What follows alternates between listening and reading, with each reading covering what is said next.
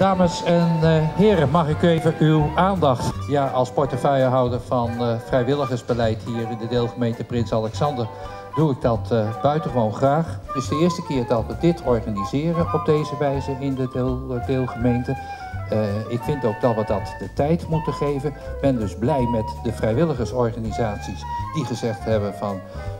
we gaan de gok nemen, we gaan ons presenteren, we gaan zien van eh, eh, hoe dat gaat, eh, gaat lopen. Ik hoop dat dit een goed beeld geeft van de veelzijdigheid van het vrijwilligerswerk hier in de deelgemeente. Ik wil het daarbij laten. Ik wens iedereen een goede en vooral zeer drukke middag toe. Elke werkdag om half negen, Antenne Rotterdam. Even wat anders.